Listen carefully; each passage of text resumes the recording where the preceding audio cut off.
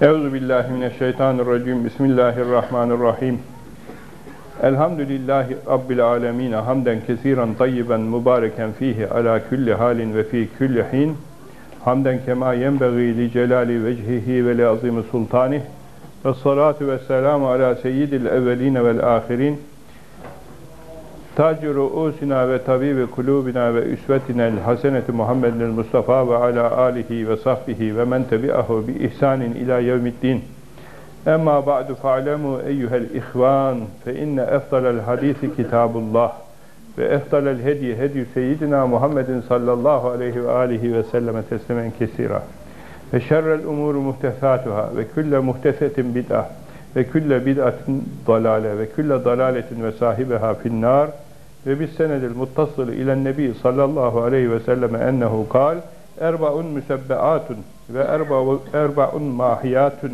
Fe emmel müsebbeatu fe nefakatuke fi sebilillah bi seb'imiyetin ve nefakatuke ala ebeveyke bi seb'imiyetin ve zebihateke şadeke yevme fıtrike li ehlike bi seb'imiyetin ve emmel mahiyatu fe siyamu şehru ramadan ve haccül beyt ve ityani mescidi Resulullah sallallahu aleyhi ve sellem ve ityani mescidi Beytil Makdis.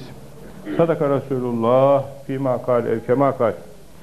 Çok aziz ve çok kıymetli, sevgili kardeşlerim, Allahu Teala Hazretlerinin selamı, rahmeti, bereketi, ihsanı, ikramı dünyada, ahirette üzerinize olsun.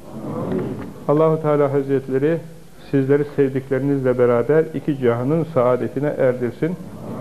Dünyada aziz ve mutlu, ahirette de cennetine, cemaline nail olan, selamına mazhar olan, sevdiği, razı olduğu kulları zümresinde eylesin. Ramazanınız mübarek olsun. Allahu Teala Hazretleri şu Allah için tuttuğunuz oruçları, yaptığınız ibadetleri ahsen ve etem olarak kabul eylesin. Şu zalim nefislerimizi ıslah etmemizi şu mübarek ayda nasip eylesin. Bizim günahlarımızın hepsini bu ayda silsin, temizlesin. Bundan sonraki ömrümüzde günahlardan arınmış, halis, safi, pak, temiz kullar olarak yaşamayı, dini mübini İslam'a en güzel tarzda hizmet eylemeyi ve Rabbimizin huzuruna sevdiği, razı olduğu kullar olarak varmayı nasip eylesin. Amin. Peygamberimiz sallallahu aleyhi ve sellem Efendimizin mübarek hadisi şeriflerinden bir demet okuyoruz pazar günleri. Dinimizi taallüm etmek için, tefeyyüz eylemek için allah Teala Hazretleri razı olduğu kullarından eylesin. Efendimizin şefaatine nail eylesin. Öğrendiklerimizi uygulamak nasip eylesin. Ümmetin bozulduğu zamanda Peygamber Efendimizin sünnetini ihya edenlere yüzlerce şehit sevabı verileceği hadis-i şeriflerde sabittir, müjdelenmiştir. O sevapları almayı Rabbimiz cümlemize nasip eylesin. Bu hadis-i şeriflerin okunmasına başlamazdan önce her zamanki itiyadımız, adetimiz üzere başta Peygamber sallallahu aleyhi ve sellem Efendimizin ruhu pakine hediye edelim diye Sonra onun mübarek alinin, ezvacının, ashabının, etbaının, ihvanının, ahbabının, hulafasının, Sadat-ı Meşayi Turku Aliye'mizin, bu beldeleri fetheden fatihlerin, şehitlerin, gazilerin, mücahitlerin, İskender Paşa'nın, kendisinden feyz aldığımız mübarek hocamız rahmetli Mehmet Sahid Bursevi Hazretlerinin, ve uzaktan yakından buraya gelmiş olan siz değerli kıymetli kardeşlerimizin ahirete göçmüş olan bütün sevdiklerinin, yakınlarının ruhlarına bizlerden şu mübarek Ramazan gününde oruçlu ağızlarımızla bir hediye-i Kur'aniye olsun diye hepsinin ruhları için hatta bütün müminin müminata Rabbimiz dereceleri üzere ikram eylesin diye temenni ve niyaz ve dua ederek bir Fatiha, üç İhlas-ı Şerif okuyalım, öyle başlayalım. Buyurun, Bismillahirrahmanirrahim.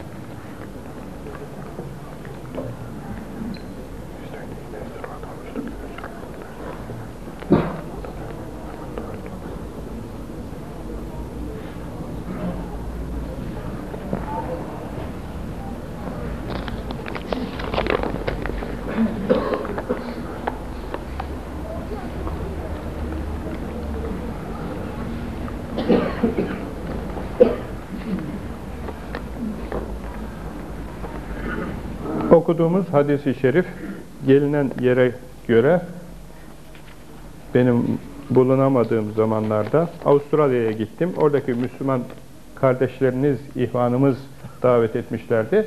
Orada da faydalı, güzel eğitim çalışmaları oldu. Ailelere, babalara, analara, evlatlara, cemaatlere yönelik güzel, memnun kaldılar. Onun için aranızda bulunamadığım zamanda tabi hadis-i şerifler okunmuş, ilerlemiş. 69. sayfanın 11. hadisi şerifine gelinmiş.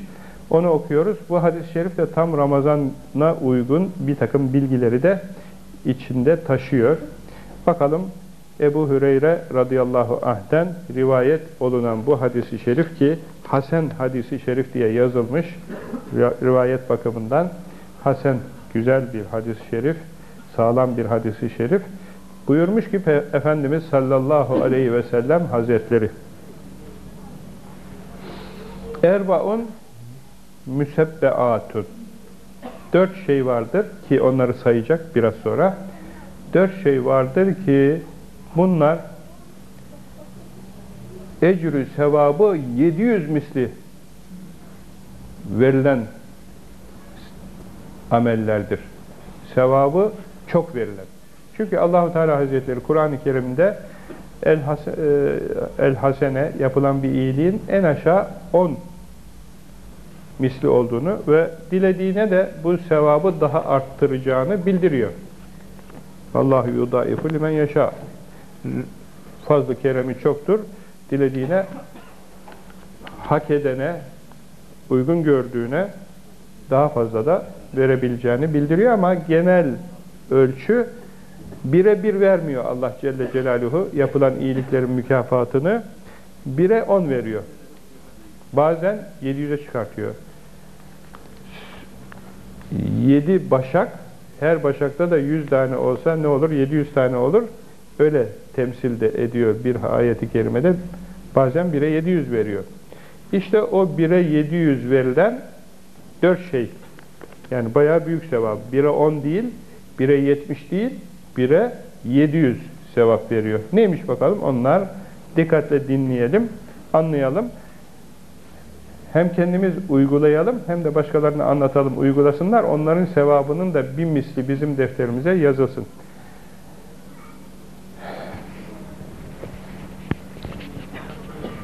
Ve erbaun mahiyatun. Dört şey de vardır ayrıca. Onlar da günahları siler. Mahiyat ha harfiyle. Mah, mahi, mahiyat ha harfiyle olunca maha, yemhu, mahvetmek, silmek demek. Yani dört şey vardır ki günahları mahvediyor. Yani yok ediyor, siliyor. Defterden siliyor, temizliyor. Silgi yani. Silginin yazıyı temizlediği gibi, silginin kara tahtadaki yazıyı temizlediği gibi günahları siliyor dört şeyde. Femmel müsebbeat kendisine 700 misli sevap verilen güzel amellerden birincisi. Onlara gelince birincisi nafakatüke fi sebilillahi Allah'ın yolunda senin sarf ettiğin masraf masrafın Allah yolunda yaptığın masrafın bir seb'imiyetin 700 misli mükafatlıdır. Allah yolu nedir? Allah yolu cihattır. Cihada para sarf ediyorsan istersen kendin bizzat cihada iştirak edip mesela efendim yolda masraf yapıyorsun, silaha masraf yapıyorsun, ata masraf yapıyorsun, alete, edevata, vasıtaya masraf yapıyorsun. İster böyle olsun, ister kendin gitme, bir gidene yardımcı ol, bir gaziye destek ol. Gaziyi teçhiz eyle, teçhizatını ver. Her nasıl olursa olsun Allah yolunda sarf edilen para, paralar mas, e, para, mal, mülk, eşya hepsi dahildir. Nafakatüke yani senin infakın, vermen, sarf etmen 700 mislidir. Allah yolu başka nedir? Allah'ın yolu hac, hacdır, ömredir. O taraflara giderken de masraf yapması insanın o, o, o da 700 mislidir. Onun için Oraya gidenler masrafta cimrilik yapmamalı. Eskiler demişler ki devecinin hakkını vesaire vesaireyi bol bol vermeli. Kimsenin hakkını geçirmemeli. Orada da nekeslik yapmamalı.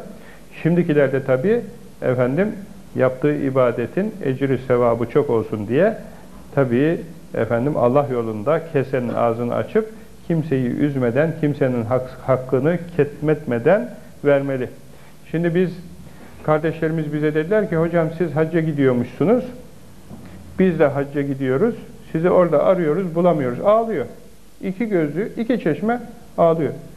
E canım olabilir işte burada görüyorsun ya yani orada göremesen ne olur? E olur mu? Herkes hocasını görüyor. Biz de hocamızı görmek isteriz. Ağlıyor. Dedi ki çok da ısrar ediyor. Çok da üzülmüş baya. E dedik hadi bu kardeşimiz vesile olsun. Bundan sonra haccı beraber yapmaya çalışalım. İSPA şirketini kurduk. İskender Paşa yani şu bizim camiamızın İSPA Turizm. Yani ticaret bahane beraber olalım, beraber gidelim, gelelim, hacı beraberce yapalım filan diye. E tabi bir kazanç da olursa onu da talebelere, efendim hayra, hasenata sarf ederiz. Caminin orasına burasına harcarız filan diye düşündük. E, senelerdir de bu hizmete devam ediyoruz. Şimdi geçen sene Mekke-i Mükerreme'de hacının birisi gelmiş. Hocam bizi kaydederken işte para bu kadardır, bunun üstüne ayrıca para alınmayacak dediler. Şimdi bizden 50 dolar daha para istiyorlar diye şikayetçi oldu. Ben böyle hadis dersini anlat, e, anlatmak için hadis kitabını açtım, hadis okudum Mekke-i Mükerreme'de. O gelmiş bana 50 dolar benden para istiyorlar diye şikayet ediyor. Hemen çağırdım şirketin ilgililerini. Dedim ki bundan 50 dolar fazla istiyormuşsunuz niye? Hocam dediler eksik istenmiş bunlardan. Yani bütün Anadolu'nun şehirlerinde efendim şu kadar iken bunlardan yanlışlık olmuş, eksik istenmiş. O isterse kime sorarsa sorsun. Yani eksik onu tamamlıyor. Yoksa fazla para isteme değil, bir yanlışlık olmuş. Ben Hacı Efendi'ye döndüm. Dedim ki bak böyleymiş. Hala gönlü vermek istemiyor. Para tatlı geliyor. Ya hac Allah yolunda bir yola çıkmışsın yani 50 doların lafı mı olur ama tabi nefisler nefisler terbiye olmadı mı çok zor muhterem kardeşlerim. Allah şu mübarek ayda nefislerimizi terbiye etmemizi nasip etsin dedim ya boşuna demiyorum yani. Nefis terbiye olmadı mı nefsin hırsı, tamahı, hevası, arzusu bitmiyor. Yani kötü, huylar çıkmıyor insanın içinden. Hala şey yapmak istemiyor. Ya Allah yolunda veriyorsun bunu. Allah'ın yolu, sevap alacaksın filan. Sonra hakkı karşı tarafın. Dedim ki Hacı Efendi, sen haccı kendi helal paranla kendin mi yapmak istersin? Yoksa onun bunun cebinden para alıp da denkleştirip beleşten, bedavadan hac mı yapmak istersin? Yok dedi, kendi paramla yapmak isterim. Ha o zaman vereceksin dedim. Çünkü ya ben sana vereceğim, çünkü senin bilet paranın üstünü ben vereceğim. Öteki şeyin üstünü ben vereceğim. Çünkü orada bir yer tutuyorsun, şu kadar para. Vasıta tutuyorsun, şu kadar para. Uçak, şu kadar para. En büyük masrafı zaten uçak alıyor. Ondan sonra da orada tutulan evler alıyor adamlar. Çok para alıyorlar tabii o mevsimde. Efendim muazzam masraflar oluyor. Dedim bunu eğer kendi paranla hac etmek istiyorsan vereceksin. Geçen sene 1850 hacı göndermişiz. Hepsine 100 dolar benim İskender Paşa şirketim 100 dolar ekledi. Çünkü masraf daha fazlaydı. Neden?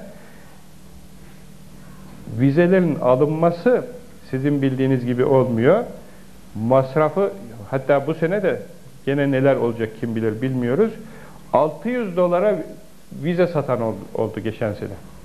Yani bir firma Avrupa'ya kumarbaz gönderiyor, turist getiriyor, turizm bütçesi büyük, memlekete döviz getirmiş diye devlet ona hacca gidecek hacılar kontenjanından 400 tane hacı götürebilirsin diye kontenjan ayırıyor. Bütçesine göre. Adam gayrimüslim. Adam bitli turist getiriyor, kumarbaz gönderiyor, bir bütçe görünüyor, büyük paralar kazanıyor, turistik bir firma. Bütçesi yüksek olduğundan sen aferin memlekete para kazandırmışsın, al sana hacı kontenjanı, 400 tane hacıyı ona veriyor. O da hacıyı götürmüyor, yok mu alan satıyorum diyor. 200 dolara, 300 dolara, 400 dolara, 500 dolara geçen sene ibre 600 dolara çıkmış. Gene de gidemediler bazıları. Ama biz elhamdülillah hacılarımızı efendim öldük, dirildik, borca girdik.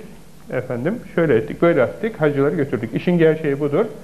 Ben de kızdığım için hacılara dedim ki para da istemeyeceksiniz bunlardan. Farkı da şey yapmayacaksınız. Hepsinin üzerinde 100'er dolar hakkım olsun dedim. Kızdım çünkü biz vizeyi almakta biraz geciktik diye dedikodu yaptılar hacılar. Dedikodu yaptılar. Bazıları da şıkır şıkır oynamış. İskender Paşa hacıları götüremiyor diyor. Ya niye oynuyorsun? 1850 tane hacı hacca gidemeyecek. Bunun sevinilecek tarafı var mı? Otur ağla. Senin Müslüman kardeşin. Yok. İskender Paşa götüremiyor diye sevinmişler. İnsanların nefislerine bak, rekabetlere bak. Neler dönüyor, ne entrikalar oluyor. Hadi bize de dedikodu başlamış. Benim bir şeyle ilgim yok ama o Hacı Efendi, Hacı teyze ağladı diye efendim biz de bu şirketi kurduk. Bu işleri beraber yapalım. Para kazanırsak da hayır yapalım diye kurduk yani. Çünkü para istemek çok zor oluyor. İnsan normalinden para kazanması, hayra sarf etmesi kolay ama para istemek çok zor oluyor. Ben burada bıktım sizden para iste isteye, kendimden bıktım. Şu yandaki binaları alalım, alalım, alalım filan diye küçük küçük paralar toplanıyor. Neden?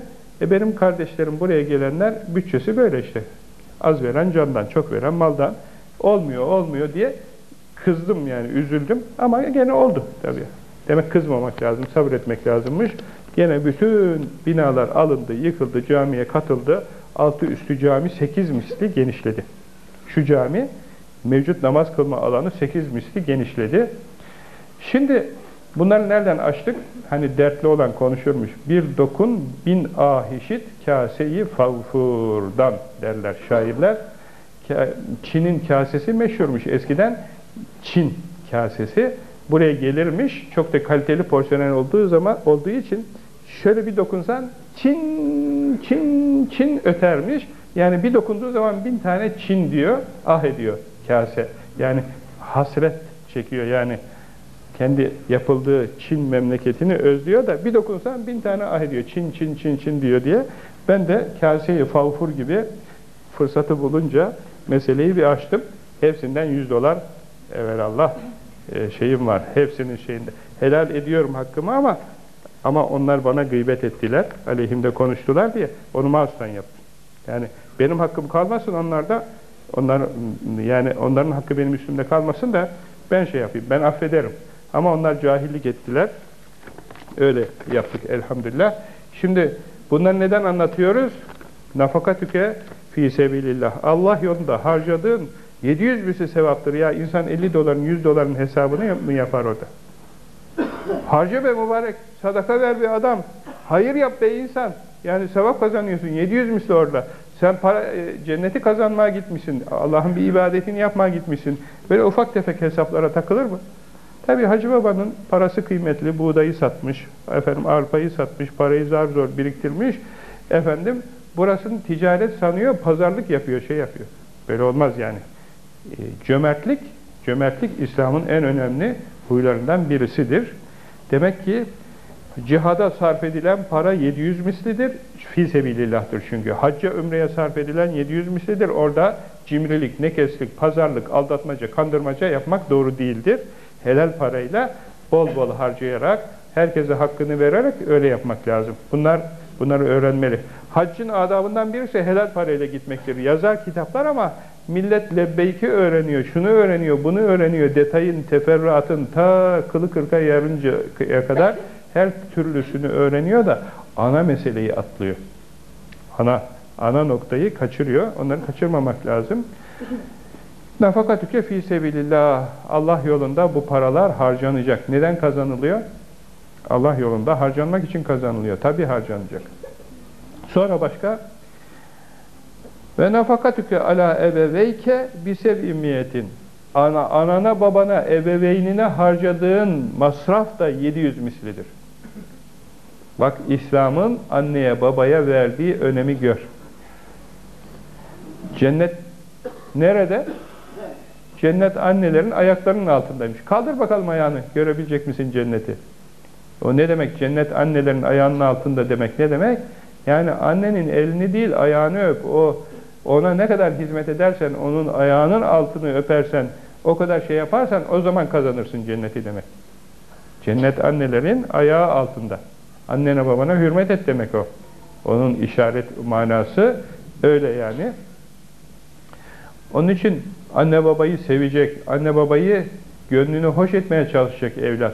Bir evlat annesine babasına kendisini sevdirtebilirse, hüner gösterip, başarı gösterip, bir şeyler yapıp annesine babasına kendisini sevdirebilirse, babası anası da onun yüzüne şöyle bir sevgiyle bakarsa, şu bizim oğlan maşallah seviyor içinden böyle bir sevgiyle baktı. Aferin be bizim oğlan filan diye veya bizim kız diye aferin hafız olmuş efendim vesaire filan. O çok güzel tabii. Anası babası memnun. Bir bakışına Allah bir köle azat etmiş gibi sevap veriyor. Babanın, ananın bir bakışına baktırabilmişse evlat, evlada bir köle azat etmiş kadar sevap veriyor. Köle azat etmek ne kadar masraf tutar hocam? Ne demek yani? Çok büyük şey. Otomobil kamyona benzemez, otobüse benzemez. Yani bir insanı senin kölendi, çalıştıracaktın, emrindeydi, azat ediyorsun. Çok büyük bir para. Yani anasına babasına şöyle bir baktırdığı zaman bir köle azat etmiş gibi sevap kazanıyor. Ne yapacak o zaman evlat? Anasının babasının etrafında pervane gibi dönecek, gönlünü almaya çalışacak, elini öpecek, ayağını öpecek, hediye alacak, allem edecek, kallem edecek, hünerini gösterecek, efendim işi başaracak, becerecek, anasına babasına kendisini sevdirecek, o sevabı kazanacak. Demişler ki ya Resulallah bir kere bakmaz ki, 360 defa bakar anne baba evladına. Yani bir bakıp ondan sonra gözlerini kapatmıyor ki, önünde dolaştırsa, dolaşırsa insan çok bakar yani. Allahu Ekber demiş Peygamber Efendimiz. Allahu Ekber. Yani 360 defa bakarsa 360 köle azat etmek sevabını vermekte güçlük mü var Allah için? Haşa sümme haşa. Verir. O kadar verir. Anne babaya masraf yapmak 700 misli sevap. Terlik al, takke al, mendil al, çorap al, kumaş al, elbise al, yiyecek götür, tatlı götür, tuzlu götür, ilaç götür, efendim gezmeye götür, seyahate götür. Babacım bir yere gitmek ister misin? Bugün boşum, tatildeyim. Emret de filan. Anneciğim ne istiyorsun? Canın ne istiyor? Eyüp Sultan'a seni götüreyim mi bugün? Götür evladım. Hay Allah senden razı olsun. Bak hemen sevabı nasıl alıyor? Bunlar bir bunlar da ilahi tezgahtarlık. Yani Müslümanlık zor. Bir bakıma zeka işi Müslümanlık. Herkes sevapları kazanmasını bilmiyor. Günahlara dalıyor. Sevapları kazanmak için insanın zeki olması lazım. Zekasını kullanması lazım. Allem edecek, kallem edecek, anasının, babasının sevabını kazanacak. Duasını alacak, sevabı kazanacak. İki, Allah yolunda masraf yapmak bir, ana babaya masraf yapmak iki. Üçüncüsü, ve zebihateke şateke yeme fıtrike li ehlike bisebimiyet. Ramazan bayramında yeme fıtrike senin Ramazan bayramında zebihateke şateke koyununu kurban etmen li ehlike ailen için, çoluk çocuğun için bir sebimiyetin 700 misli sevaptır. Ramazan bayramında ailen için koyununu kurban etmen, koyun kurban etmek demek yani bu, kurban kesmek demek yani. Ramazan bayramında ailen bolluk içinde olsun, rahat etsin, evde bir şenlik, safalık olsun, kebap olsun, pirzola olsun, büryan olsun, dolma olsun, kıyma olsun, efendim neyse artık kim neresini seviyorsa, kimisi ciğer seviyor, kimisi efendim mumbar seviyor, çeşitli şeyler oluyor. Ha, evde bir şenlik oluyor, bir muhabbet oluyor, bayram bir bakımdan daha takviye edilmiş oluyor. E misafir gelse buyur kal dersin, otur dersin, ye dersin, soframız iyi, yemeğimiz var dersin filan. İşte o da 700 misli. Neden? Ramazan öyle kıymetli bir ay ki, onun bayramı o kadar büyük ki, efendim işte orada Allahu Teala Hazretleri zaten çok sevaplar veriyor. Bir bayram oluyor.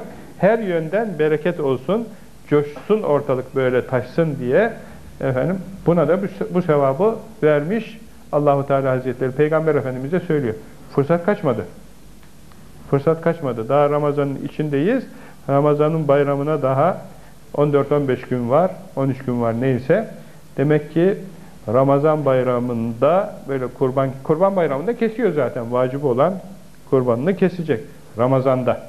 Ramazanda kurban keserse bu sevabı da alır. Ve emmel mahiyat dedi. Günahları silenlere geçti. Halbuki üç tane oldu. Üç tane oldu.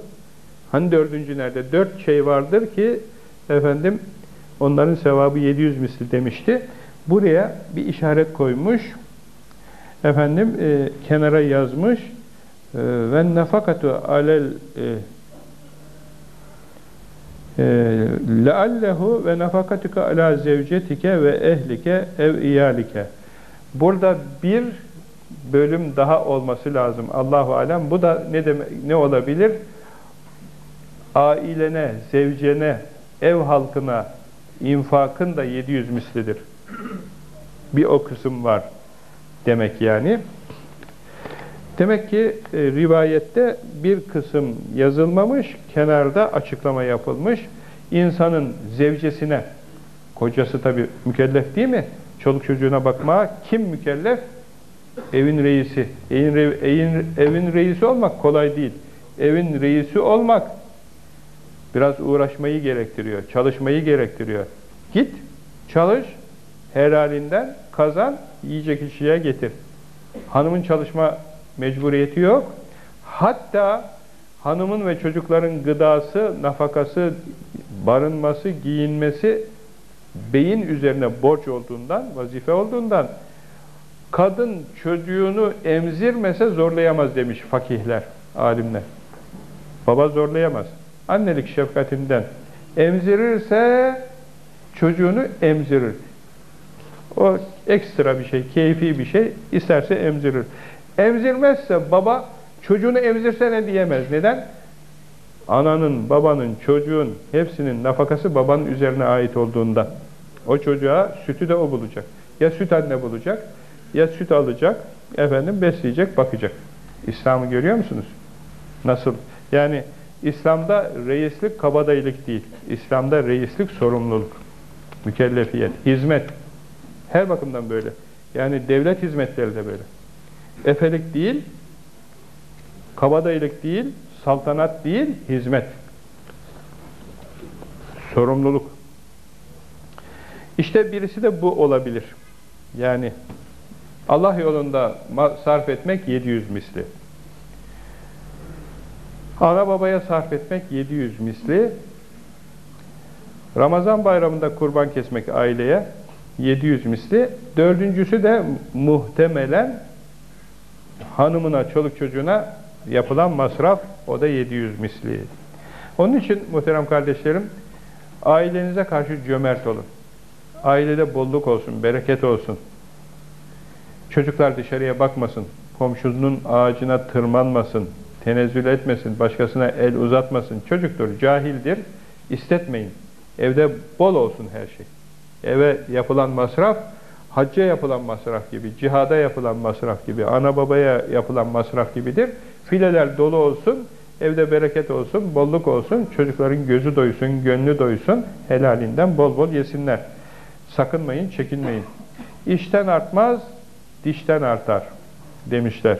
Atasözü var. O nedir? O israf olmasın demektir.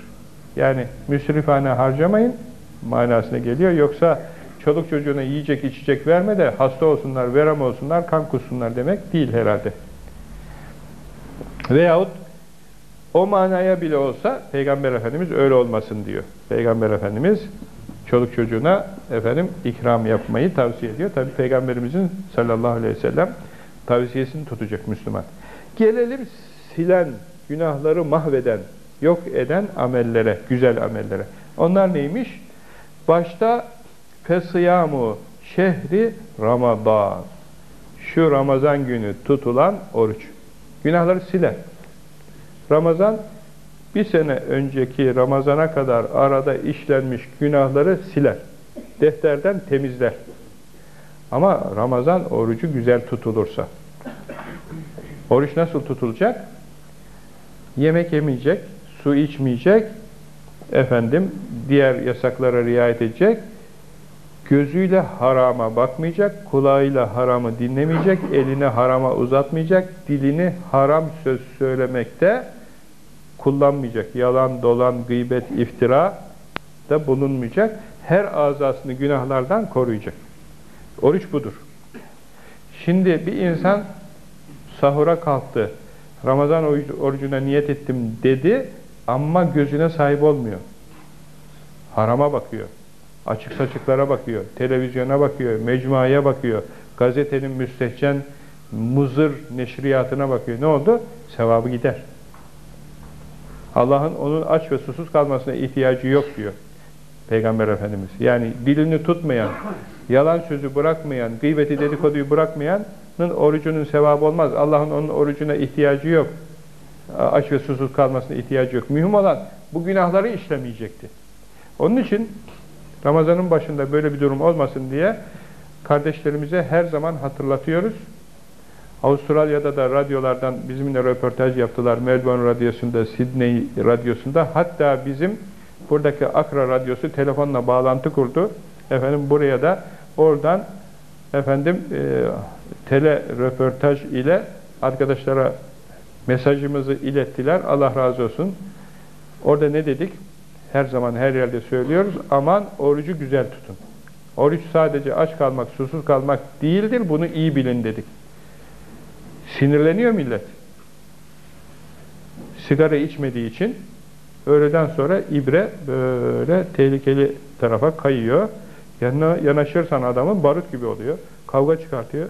Ondan sonra da diyor ki kusura bakma oruçluydum, kafam dumanlıydı. Ya oruç bu kötü huyları engelleme çalışmasıydı. Yani sen yapamadın işte. Kaçırdın sevabı. Sabırlı olacak. Derya gibi engin olacak. Şimdi akşam oluyor.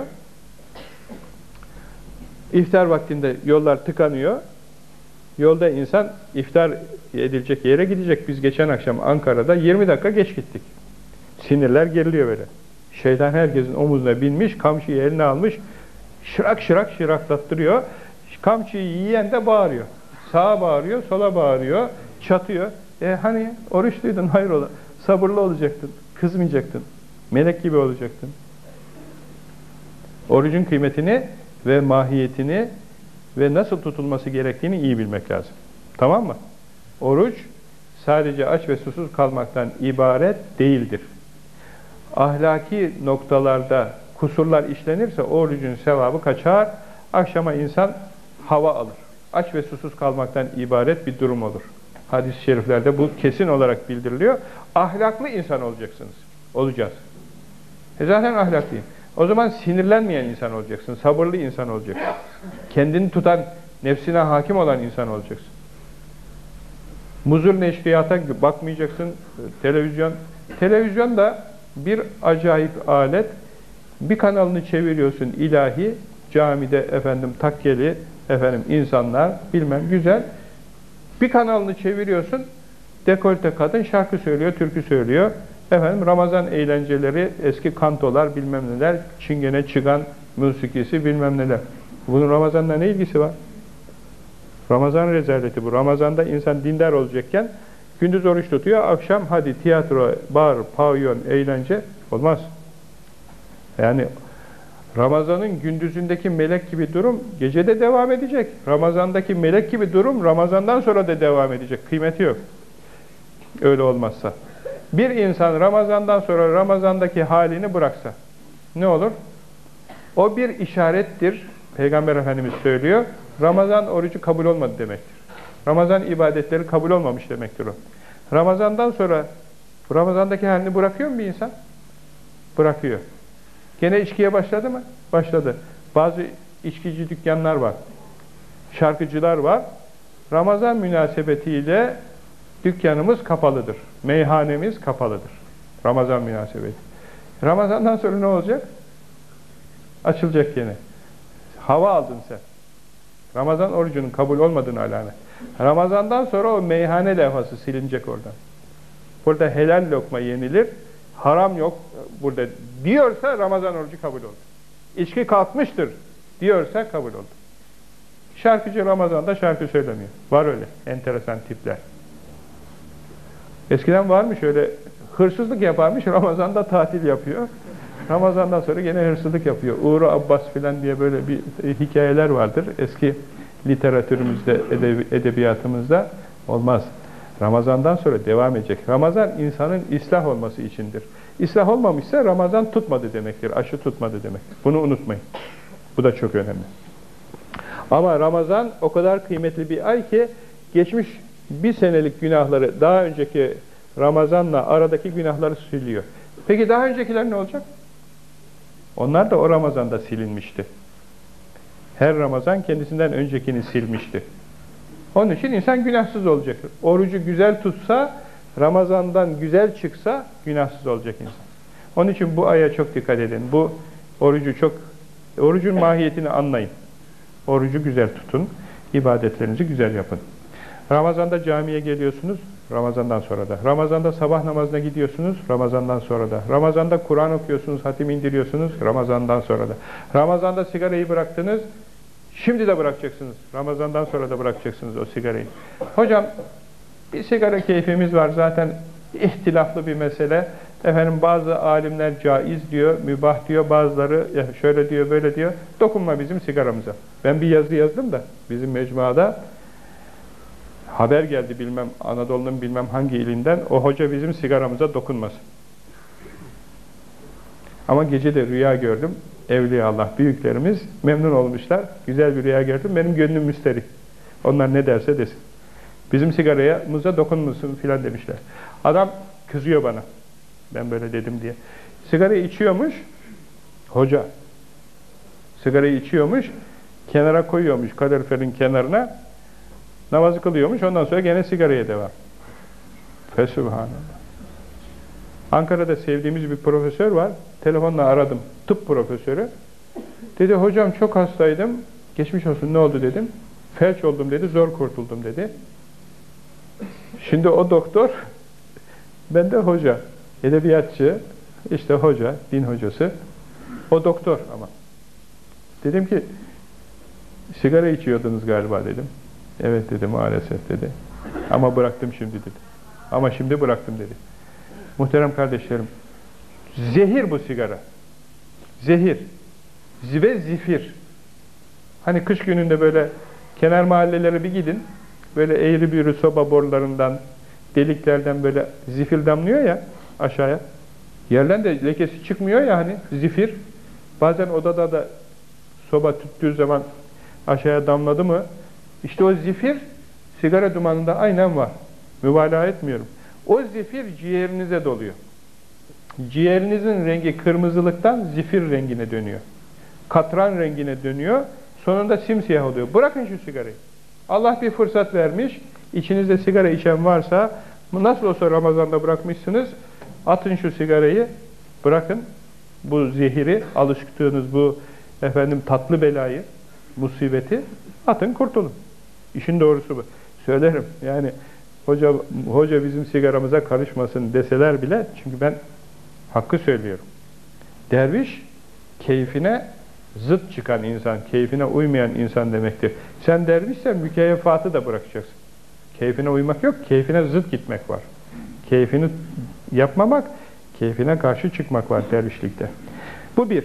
Ramazan ayı günahları silen, tertemiz yapan bir ay. Elhamdülillah ya Rabbi bizi nice Ramazanlara böyle eriştir.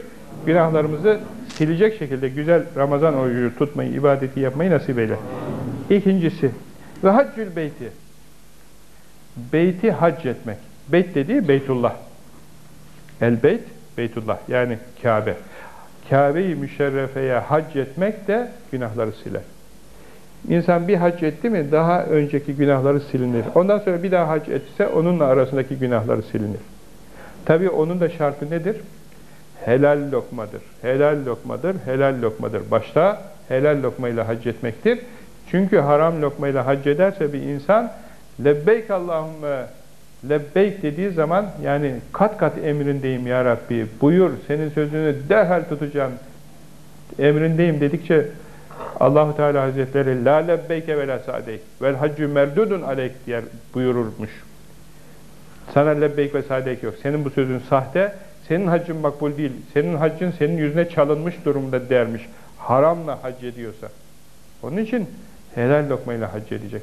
Onun için bazı tekva ehli insanlar kendi parasını bir tarafa koyarmış, sevdiği bir arkadaşından borç para alırmış, onunla hac edermiş. Borcu ödüyor tabii öbür taraftan. Yani borç para helal olduğundan, onda bir şey yok, borç para alıyorsun, borç helal olduğundan böyle bir kurnazlık düşünürlermiş ki helal olsun diye hac. Tabii hacda vela refese, vela cidale, vela füsuka fil hac. Kötü söz söylemek, kötü iş yapmak yok, kavga gürültü, cidal, cenk yok, efendim çirkin işler yok haçta. Onun güzel yapılması lazım. O da önemli.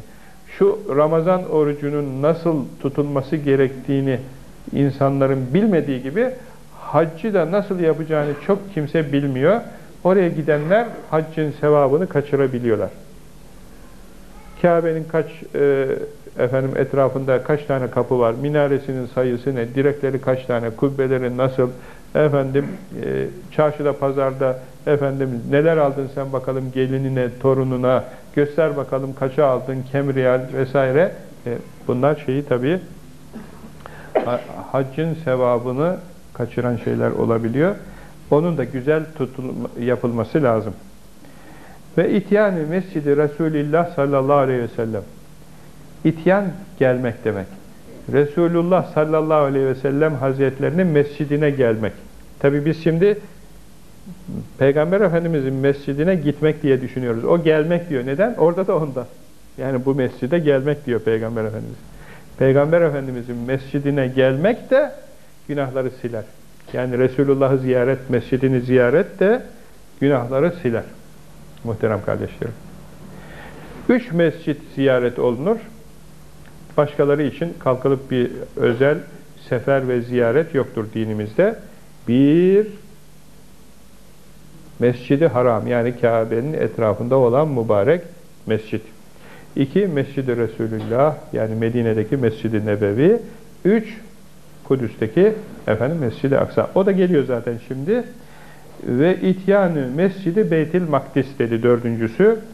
Kudüs'teki Mescid-i Şerif'i yani Mescid-i Aksa'yı ziyaret, oraya gitmek, oraya gelmek de diyor, gelmek diyor söylüyor. Peygamber sallallahu aleyhi ve sellem Efendimiz. O da günahları siler. Kudüs ziyareti de, Medine ziyareti de, efendim haç da günahları siler. Ramazan'da günahları siler. Aziz ve muhterem kardeşlerim. Tabi Kudüs elimizden Yahudilerin eline düştü. Maalesef çok cihad etti büyüklerimiz. Hocamız cennet mekanı Suriye'de cihadı var. Suriye'de savaşı var. Benim dedem rahmetli oralarda şehit olmuş. Çok şehitler oldu. Dedem hacı, e, şeye askere gitmekle mükellef değilmiş. Hem parmağında bir tetik çekmeye mani bir arızası varmış, hem de medrese ehli olduğu için gitmek zorunda değilmiş ama cihat sevabı alayım diye gitmiş, şehit olmuş, Allah şefaatlerine erdirsin. Çok uğraştılar ama Kudüs efendim elimizden çıktı. Nasıl çıktı muhterem kardeşlerim?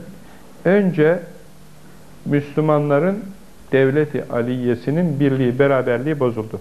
Araplar Türklere, Türkler bilmem nelere, bilmem neler, bilmem nelere karşı oldu. Önce Arapların eline geçti. Efendim, öyle oldu. Yani doğrudan doğruya şeyin eline geçmedi. Ee, Yahudinin eline geçmedi. Önce parçaladılar, Arapların eline geçtiler, geçir, geçirttiler. Osmanlı'nın elinden aldılar evvela. Kimse bir şey demedi. Araplar memnun. Oh, tamam, Osmanlı'dan biz burayı aldık. Tamam. Ama işin bir de arkasını seyretsen, arkasından o zayıf Arapları efendim beynelmiler entrikalarla tepelediler. Bu sefer Kudüs Yahudilerin eline geçti. Bugün de bugün de aynı oyunlar oynanıyor. Nasıl olması lazım? Müslümanların kardeş olması lazım. Birlik ve beraberlik içinde olması lazım. Arap'ın Kürt'e, Türk'e, Türk'ün Kürt'e, Araba, Çerkes'e, onun ötekisine, belkisinin ötekisine sımsıkı muhabbeti olması lazım. Biz birbirimizin kardeşiyiz demesi lazım. Müminler birbirlerinin kardeşidir. Bu kardeşliğe hiçbir şey zedele, zedeleyemez demesi lazım. Irkçılık Arap'ın içine girdi. Urube, urube, urube Arapçılık demek. Arap ırkçılığı demek. Bu şeyler öyle başladılar. Hafız Esedler, efendim, e, e, Irak'ta Saddamlar, urube, urube, fi sebilil urube. Ne demek? Arap ırkçılığı yolunda mücadelemiz. Parti kurdular.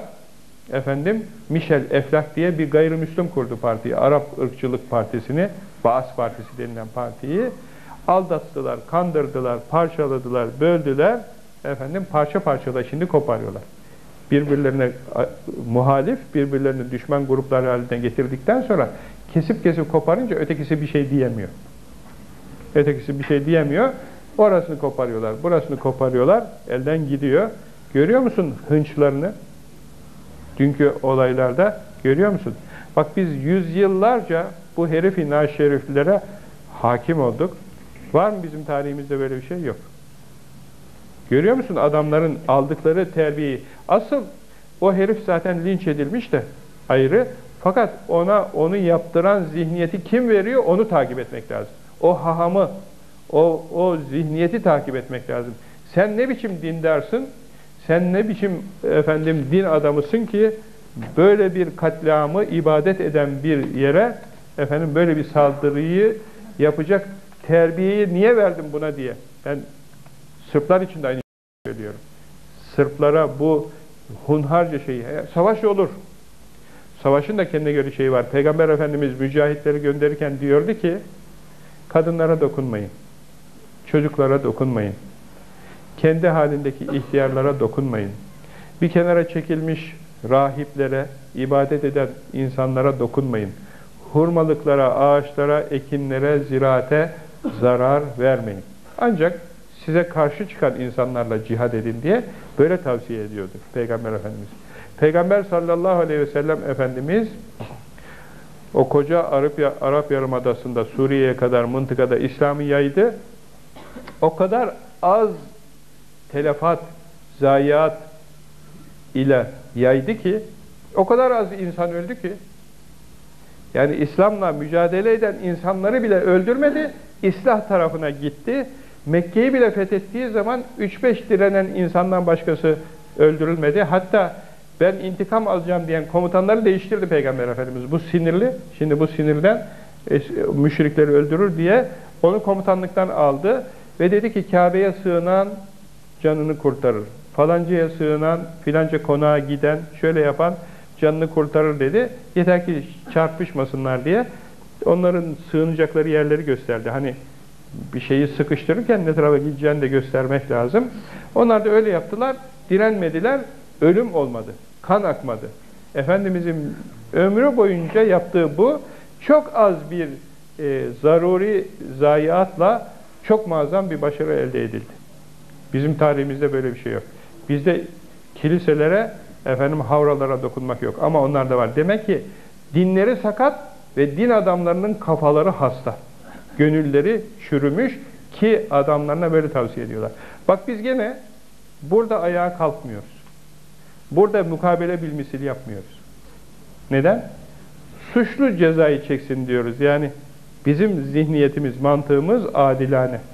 Oradaki o yapmış, buradaki niye çeksin diye düşünüyoruz. İslam'ın güzelliği, asaleti, dürüstlüğü, kıymeti ötekilerin de neden değiştiği, bozulduğu, hükümden kalktığı çıkıyor ortaya işte. Gör, her şey ortada. Palavraları bir tarafa bırakalım, medeniyet laflarını bir tarafa bırakalım. Avrupa mı medeni, İslam alemi medeni? İslam alemi medeni. Avrupa gaddar, hunhar, yalancı, dolancı, hilekar, aldatmaca yapan insan, sözünde duymayan insanlar hepsi. Hiçbir sözüne güvenemezsin. Neden? Şeyi yok. Yalan üzerine, dolan üzerine kurulmuş şeyleri. E peki şeyleri, medeniyetleri, medeniyetleri hepsi göstermelik. Öyle medeniyet olmaz. Aslında çok gayrimedeni, çok barbar, çok zalim, Çok vicdansız insanlar. Bunları bilmemiz lazım.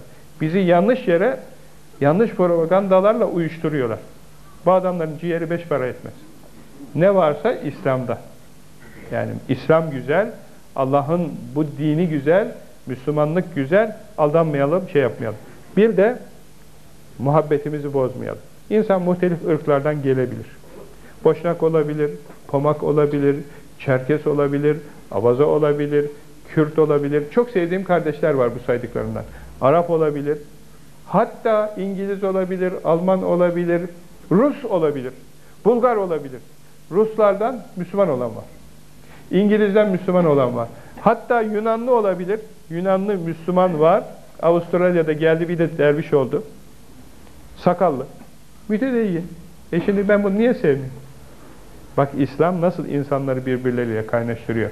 Başka hiçbir ilaç yok insanlığın kurtulması için dünyada bir başka ilaç yok. Eğer insanlık dünya üzerinde toplu bir mutluluk istiyorsa ne Hindulukta medet var ne Hristiyanlıkta ne Yahudilikte. Medet, ilaç İslam'da. Hinduların halini gördünüz. Hindistan'da yaptıkları zulümleri. Avrupalıların halini gördünüz. Tarihten de biliyorsunuz zaten. Haçlılar çocukları kebap edip, Müslüman çocukları kebap edip yediklerini sofralarına koyup yediklerini kendi kendi kitaplarında yazıyorlar hatıralarında. İnsan eti yediklerini. Yam yam yani. Zevk alarak bunu böyle yaptıklarını, Müslümanların etini kızartıp yediklerini, Haçlıların Anadolu'yu istila ettikleri zaman kendi kitapları yazıyorlar muhterem kardeşim. Kendi kitaplarında İslam ülkelerine geldikleri zaman orman yangınları çıkarttıklarını ve hatta bu İstanbul'da meşhur yangınlar olmuştur. Fatih Sarıgüzel yangını, bilmem ne yangını, bilmem Samatya yangını vesaire bu yangınları papazlar çıkarttıklarını kitaplarında yazıyorlar. Çıkarttık, Müslümanların cayır cayır yanmasını zevkle seyrettik. İkinci kattan nasıl atlayıp bacağı kırıldığını, ne yaptığını vesaire diye böyle yazıyorlar muhterem kardeşlerim. Bunları bilin. Bu adamlar böyle. Yani Ege'deki yangınların hepsini siz neden çıktığını sanıyorsunuz? Turist geliyor orada, tuzağını kuruyor, eğlenecek kadar eğleniyor, kazı yapıyor, tarihi eser kaçırıyor, yapacağı melaneti yapıyor, kesesini dolduruyor, efendim, ondan sonra bir de ormanı yakıp ondan sonra kalkıp gidiyor. Bunu şeyle yapıyor. Kendi kitapları söylemese, kendi kitaplarında bunun itirafları olmasa, hatıralarında, o zaman insanın inanacağı gelmiyor. Biz niye yapmıyoruz? Ben şahsen şöyle düşünüyorum. Bir tarlayı ateşe verdiğimiz zaman zararlı otlardan kurtarmak için bile. Yani boş tarla. Ateşe veriyoruz. Efendim yanıyor. Zararlı tohumlar, otlar şey yapsın. Ya oradaki karıncalar, böcekler ne oluyor diye vicdanımız razı olmuyor yani. Tarladaki zararlı dikenlerin yakılmasına bile razı olmuyoruz. Ormanda o kadar hayvan var, can var. Hepsini Allah hesabını sorar. Yani bir karıncaya bastı diye insan üzülüyor. Ezdim şu zavallıyı hay Allah görmedim diye üzülüyor insan. Bak bizim dinimizin güzelliğine, bize verdiği terbiyeye, bak şu alçakların yaptığına.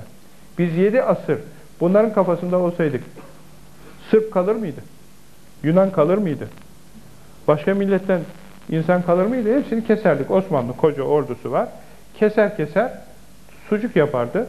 Efendim dolma yapardı, sarma yapardı, kebap yapardı. Onların yaptığı gibi yamyamlık yapacak olsaydı veya kuyulara atardı. İşte Kelbeçer katliamı, seneyi devriyesi, Ermeniler işte neler yaptıklarını görüyorsunuz. Sırpların nasıl Sava, Drava nehirlerine Müslümanları kesip kesip attıklarını biliyorsunuz. Nikos Samson Kıbrıs'ta nasıl katliam yaptın, nasıl çocukları böyle efendim şeyde banyoda boğup da böyle kanlı kanlı üst üste yığdıklarını, kestiklerini biliyorsunuz. Makaryos diyor, Kıbrıslı tanıdığım var, anlatıyor. Makaryos diyor, bizim Kıbrıs'tan gitmemiz için her türlü kolaylığı gösteriyordu diyor. Ve demiş, talimat vermiş devlet reisi olduğu zaman, Müslümanlardan birisinin arazisini almak için mevcut normal fiyatın üstünde fiyat verin. Beş misli de olsa alın. ve dışarıya gitmesini kolaylaştırın. Onun için Müslümanların arazisini pahalı pahalı, çok güzel, güleç yüzle böyle, tatlı dille, komşu arazisini alalım, senin arazin daha fazla para eder, o kadar olur mu, ben sana şu kadar vereyim diyerek böyle arazilerini almışlar. Ben diyor, Kıbrıs'tan Avustralya'ya gitmek istediğim için müracaat ettiğimde bir iki gün içinde işlerimi şıp bitirdiler. İşlerim oldu bitti diyor. Avustralya'ya gelebildim diyor. Yani Kıbrıs'tan uzaklaşsın, burayı terk etsin. Kıbrıs Yunanlılara Makaryos'a kalsın diye Makaryos böyle bir politika gidiyormuş. Gidene kolaylık. Gidene kolaylık. Nikos Samson demiş ki Türkler hiçbir şey yapamaz. Ben buradaki Türklerin hepsini iki saat içinde katliam ederim, yok ederim. Kıbrıs bize kalır. O da sertlik taraftarı. Makaryus parayla alma taraftarı, Nikos Samson da sertlik taraftarıymış. Hakikaten de bir hücum etmiş ama işte Kıbrıs hadisesini biliyorsunuz. İşler onların olduğu gibi, düşündüğü gibi olmadı. Gerçi bazı köylerde katliam yaptılar, öldürdüler ama sonunda efendim onların istediğinin tersi oldu. Yani zalimlik kendilerinde, hunharlık, gaddarlık, saldırı kendilerinde. Hala şimdi de Maraş'ı vereceksin, bilmem nereyi vereceksin diye utanmadan pazardan kalkışıyorlar. Batı alemini kışkırtıyorlar. Batı alemi de bu meseleyi bildiği halde onları destekliyor. Batı alemi Sırpların durumunu bildiği halde Sırpları destekliyor. Neden? Allah'tan korkmadıkları için. Kısacası bu. Yani Müslümanlar yok olsun. Ölsün. E bunların canı yok mu? Yok. Yani bunların dinlerinde sakatlık var. Bunların kafalarında sakatlık var. Bir de geliyorlar buralarda Hristiyanlık propagandası yapıyorlar da bizim evlatlarımızdan kandırdıkları oluyor. Yahova şahidi olarak, bilmem ne olarak aldattıkları oluyor. Şurasına Allah saklasın zincirli haç taktırdıkları oluyor. Gizliden gizliye aldattıkları için efendim kendi misyoner okullarında okuyanları efendim bilmem kandırabildiklerini kandırıp o batıl dinlerine çekme çalışmaları yapıyorlar. Allah gözümüze efendim basiret gözümüzün perdelerini kaldırsın. Basiret ihsan eylesin. Hakkı hak olarak görmeyi nasip eylesin. Allah'ın dinine sımsıkı sarılmayı nasip eylesin. Tabi muhterem kardeşlerim şunu hatırlatayım. Allahu Teala Hazretleri dilese bunlara nefes aldırmaz. Allahu Teala Hazretleri istese bunlardan bir tanesini bırakmaz yeryüzünde. Ama bu dar dünya imtihan alemi olduğundan böyle fırsatlar oluyor. Biz tembellik ettiğimiz için, biz günahkar olduğumuz için, biz İslam'dan uzaklaştığımız için, biz birlik ve beraberliğimizi bozduğumuz için fetefşelü ve tezhebe reyhikum diye Kur'an'da buyuruyor. Dağılırsınız, gücünüz, kuvvetiniz kalmaz, birleşin, beraber olun diye emrediyor. Onu dinlemediğimizden başımıza bunlar geliyor. İlim öğrenin, ilme çalışın, onlara karşı silah hazırlayın diyor. Kur'an-ı Kerim'de bildiriyor Allah. Ve iddu lehum mestata'tum min kuvve. Bizde silah yok, çalışma yok, gayret yok, birlik yok, beraberlik yok. Bir de muhterem kardeşlerim, böyle bana tabi hoca olmam dolayısıyla gelip dertlerini açan kardeşlerim oluyor. Ailevi meselelerini söyleyen kardeşlerim oluyor. Muhterem kardeşlerim. Yani Allah insanı yanıltmasın, şaşırtmasın, saptırmasın, ayağını kaydırmasın. Bu devirde yani hiç ummadığı şekilde insanın yakınları, şeyleri kötü yollara sapabiliyor. Neden? Kötülüğün imkanları kolay. Çok. Bütün her şey insanları kötülüğe çekmek için çalışıyor. Etrafımızda radyo, sinema, tiyatro, efendim bilmem mecmua, gazete, efendim gazetede tefrika günlerce flört nasıl yapılır, kız nasıl ayartılır. Bunu sayfa sayfa yazıyor da analar babalar da bu gazeteyi evine alıyor. Cinsel sorunlar, bilmem ne sorunları, bilmem ne sorunları diye milleti nasıl aldatıyor? Ben de Müslümanım, ben evime böyle melun, efendim konuları yazan, böyle müstehcen, böyle insanı utandıran, efendim böyle muzır, zararlı şeyleri sokmam diyemiyor Müslüman. Kanıyor yavaş yavaş, gönlünden kapılıyor, etrafına sağa bakıyor, sağa bakıyor, kimse yokken açıp bakıyor. Bizim şeyde, efendim askerlik yaptığımız zaman, efendim, tabi 40 tane, 50 tane zıpır delikanlı. Asker, askerlik çağının delikanlısı, zıpır. Aklı deli, delikanlı. Kafasından bir karış yukarıda. Efendim, Tabi dinlisi var, dinsizi var. Akıllısı var, uslusu var. Şimdi bizim askerlikte, okulda benim gördüğüm, ben askere geç gittim. Talebelerim ile beraber yaptım askerliği. Doçent olduğum zaman yaptım. Ben şöyle uzaktan seyrediyorum. Hiç ummadığın insanlar öyle zaaflar gösteriyor ki. Benim ilahiyat fakültesinden talebem vardı. Aynı okulda şey yaptık. Okul devresini bitirdik. Yanıma gelemedi. Yüzü tutmadığından içki içiyordu. Namaz kılmıyordu. Öyleleri vardı. Müstehcen gazeteyi onun önüne götürüyorlar ilk önce. Adı da efendim ilahiyat tahsili veya din tahsili yapmış olduğundan hoca hoca şuna bak filan diye alay ediyorlar. O da gülerek şey yapıyor. Yani yüzlerine bir çat diye vurup da efendim yani alay ettirtmeme şeyini gösteremiyor yani. Kendisinin zaafından dolayı. Yani şunu söylemek istiyorum. Kusur bizde muhterem kardeşlerim. Müslümanlığımız zayıf. Allah'ın emrine bağlılığımız gevşek. Çoluk çocuğumuza sahip olmamız lazım. Çocuklarımızı bizden iyi Müslüman yetiştirmemiz lazım. Takva ehli yetiştirmemiz lazım. Çocuk bizim zorumuzla namaz kılmamalı. Çocuk çocuk anasına babasına doğru yolu gösterecek gibi olmalı. Annesine babasına hak yolu gösterecek, onu hak yola çekecek olmalı. Şimdi babası lokantasına içki koymak istemiş. Çocuk demiş ki baba içki haram. Ama evladım işte müşteri gelmiyor. İçki koyarsak bak yandaki komşunun lokantası daha iyi çalışıyor vesaire vesaire. Baba demiş içki haram. Allah'ın istemediği bir şey. Eğer içkiyi koyacaksan ben artık bu evde senin kazancını yiyemem. Müsaade et ben evden gideceğim. İçkiyi koyarsan ben evde duramam. Benim evde kalmamı istiyorsan içkiyi koyma baba demiş. Bu ne? İşte takva bu. Allah'tan korkmak, Allah'ın emrini tutmak. Evlatlarımızı bizim himayemiz olmadan, zorlamamız olmadan Müslüman olacak, yaşayacak şekilde kuvvetli Müslüman olarak yetiştirelim. Dünyaya tamah etmek iyi olmuyor. Derin tecrübem var. Dünyaya tamah edenlerin hepsinin zarar gördüğünü şu gözlerimle gördüm, şu kulaklarımla duydum, biliyorum.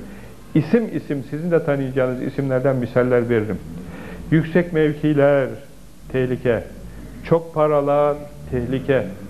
Allah helalinden versin, hayırlısını versin demek lazım. Şımarıyor insanlar. Parayı görünce adam şımarmıyor, çocuğu şımarıyor.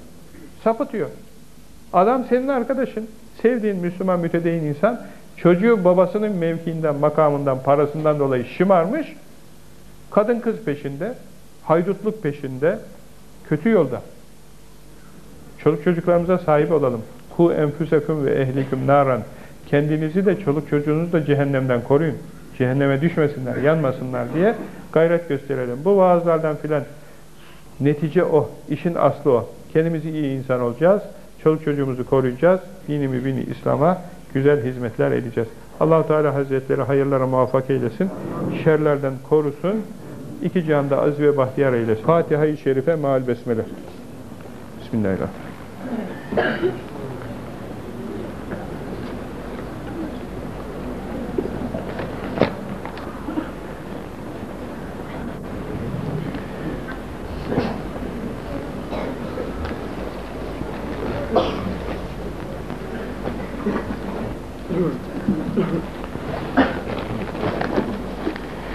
Üç salavat-ı şerife.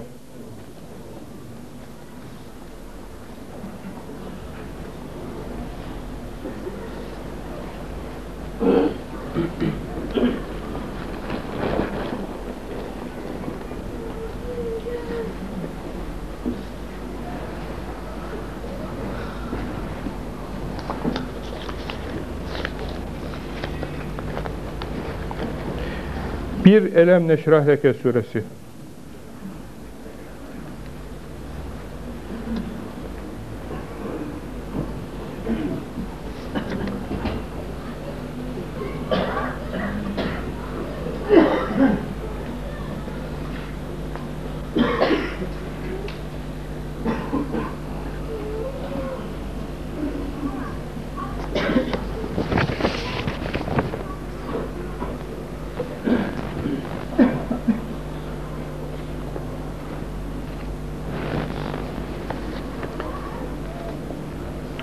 15 İhlas Şerif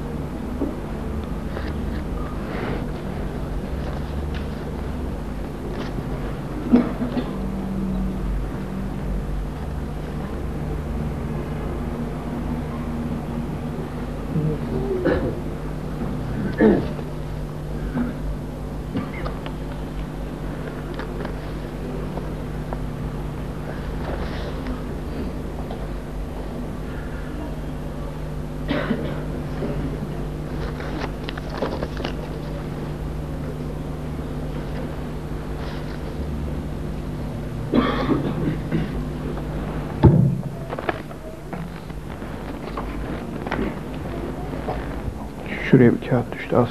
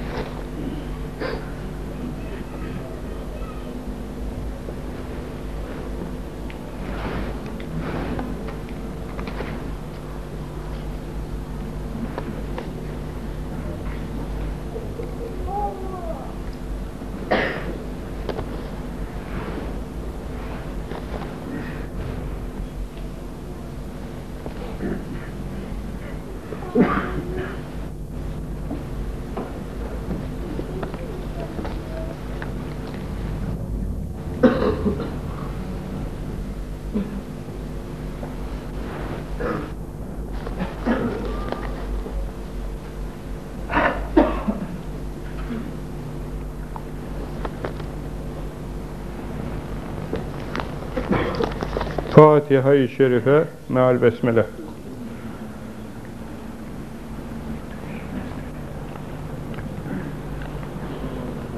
Üç salavat-ı şerife.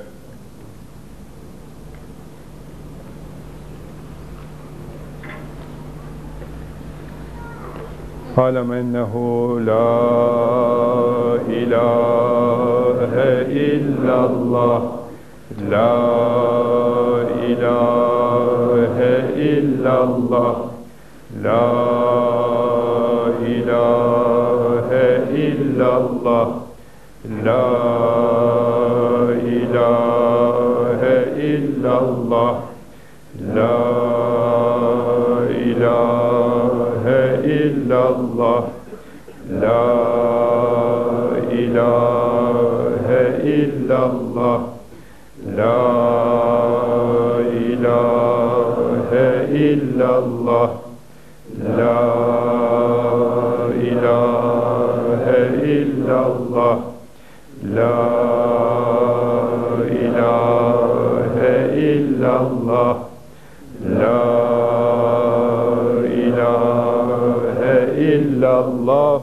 melikül hakkul mübin Muhammedur Resulullah sadıkul vaadil emin sallallahu aleyhi ve alihi ve sahbihi ve men tebi'ahu bi ihsanin ecma'in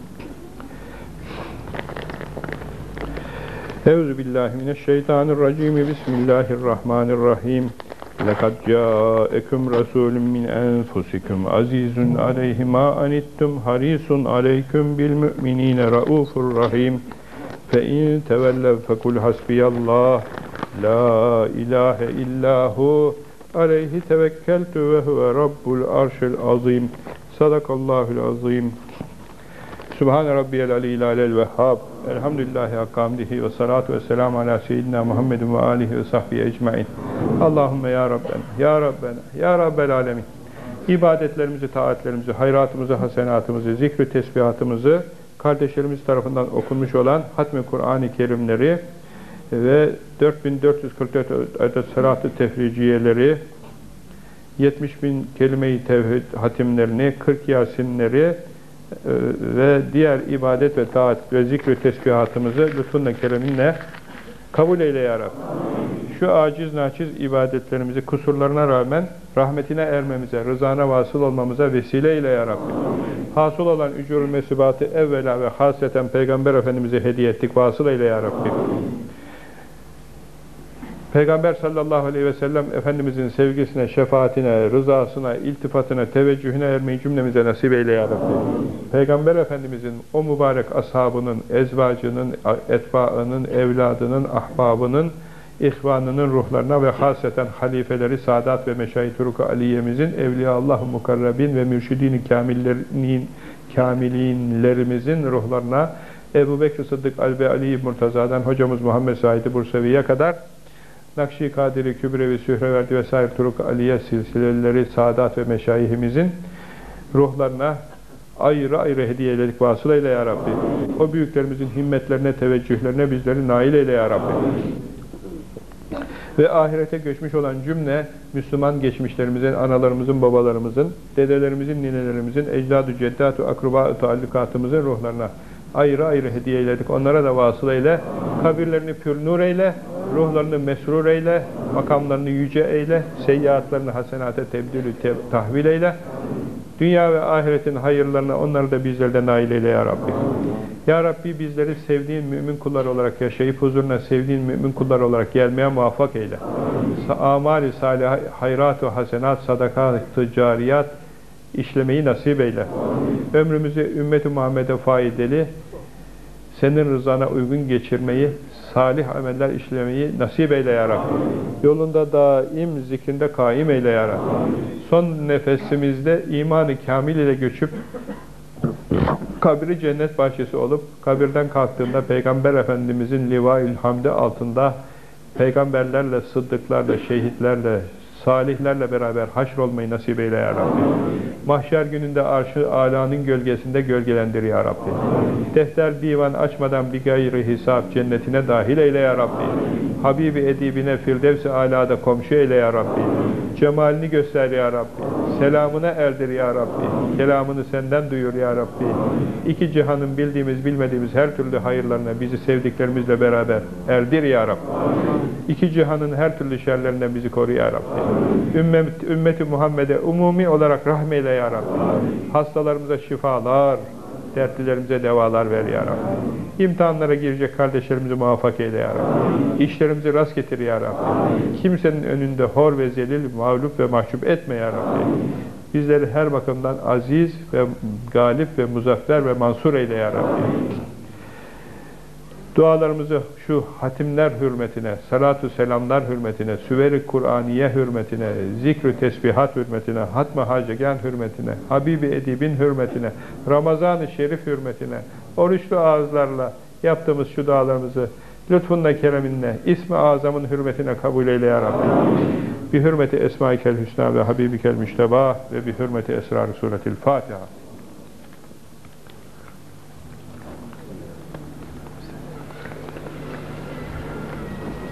Buraya gelemeyen, mesela 86 yaşındaki dedem diyor, efendim Mersin'deki iki bayan diyor, efendim e, Ankara'da bulunan annem diyor, efendim ve ders almak isteyen öbür kardeşlerimiz. Onların kabul ettiğimi söyleyin, selamlarımı söyleyin. Sizler ve onlar yüz estağfurullah, yüz la ilahe illallah. İki, bin Allah, Allah lafz-ı celal. Üç, 100 salavat-ı şerife, 4, 100 gülüvallahu ahad olmak üzere günlük zikirleri yapın. Ondan sonra zikri kalbiye devam edin. Zikrin nasıl yapılacağını bizim kitaplarımız var. O kitaplardan edinin, onlara bakın, okuyun. Zamanım çok az, bir yere de yetişmem lazım. Onun için böylece kısa, kısaca tarif ettim. Allah feyziyab eylesin, mübarek olsun. Burada olanlara dersi vermiş olduk. Ötekilere de selamlarımızı söyleyin. Tamamdır. Birisi birkaç önemli kağıdı ayırdım. Onları cevaplandırabileceğim. Hepsini cevaplandıramam ama bunlar önemli geldi. Birisi oğul, oğul babasını rüyada kafasını kesmiş görmüş. Bunun sebebi nedir? Tabiri nedir diye soruyor. Efendim bu babasına karşı bir iyi evlatlık yapması gerektiğini gösteriyor. Yani babasını insan keser mi kesmez ama babası ölmüş ona hayır hasenat, hatim efendim vesaire bir şeyler yapması lazım. Onu üzmemesi lazım. Efendim onun ruhunu şad edecek ibadetler, taatler, hayırlar yapması lazım. Öyle şeyler yapmasına işaret yapmadığını gösteriyor gibi bu Allahu alem. O bakımdan babasının babası için hayır hasenat yapsın. Durumu müsaitse hacca gidiversin. Efendim ömre yapıversin. E, sadaka versin, hatim indirsin vesaire böyle babasının ruhunu şad etmeye çalışsın. İmsak vaktinde ezanın sonuna kadar yemek caiz midir? Hayır. Ezanla beraber şey biter. Zaten orucun vakti bittiği, baş, yani yemenin vakti bittiği, oruç başladığı, sabahın vakti girdiği için ezan okunuyor. Binaenaleyh orada kesmek lazım. Zaten eskiden bir böyle ihtiyat bölümü vardı. Onu zaten kaldırdılar. Tam şeye dayadılar. Tehlikeli hududa dayadılar. Şimdi benim tavsiyem 10-15 dakika önceden mümkünse sofradan kalkın, ağzınızı çalkalayın. Öyle ezan okunduğu zaman orucunuz zedelenmesin. Bazıları bir gün önce başlamışlar oruca doğru değildir. Kesin olarak doğru değildir. Çok iyi takip eden, bu işin mütehassısı olan bir kimseyim. İyi biliyorum. Ukalalık etmesinler. Yalan yanlış işler yapmasınlar. Efendim e, hilalden, milalden anlamayan insanlar işleri karıştırmasınlar. Yani bir gün önce katiyen değil. Yani o bir, bir gün önce oruç tutma, tutanlar yanlış. Hilali gördük diyorlarsa aptallıklarından geçmiş ayın sabahleyin gördükleri hilalini görmüşlerdir. Onu şey sanıyorlardır. Sabah görülen hilal Şaban ayının son günlerinin hilalidir. O hilal görünmez. Bu efendim bizim başladığımız zamandan önce olması mümkün değildir. Bunu kesin olarak söylüyorum. Yanlış işler yapmasınlar. Yani kim yapmışsa ona da yanlış olduğunu kesin olarak söylesinler. Üniversite profesörü olarak, bu işi bilen insan olarak söylüyorum. Efendim hasta dedem için iyileşme ihtimali yok. Oruçlarının kefaretini verecek tabi. Oruç tutamaz. Kefaret verecek, fidye verecek, oruç fidyesi verecek. Bunu dayıma verebilir miyim diyor. Veremez. Çünkü dayısı şeyi oluyor.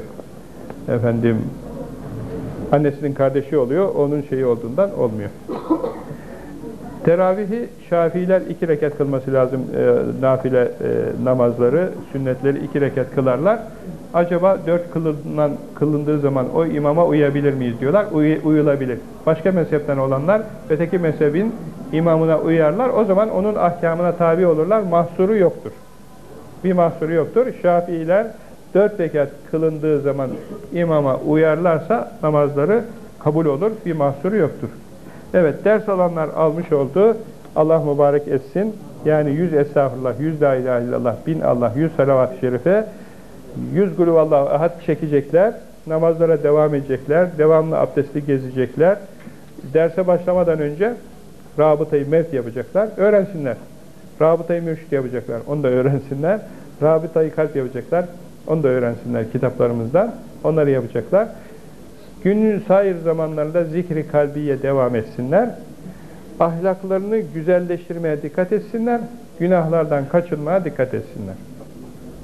Hatırlarında kalmadıysa bantlardan bunları nasihatleri tekrar tekrar dinlesinler. Allah hepinizden razı olsun. Esselamu Aleyküm ve Rahmetullahi ve Berekatuhu.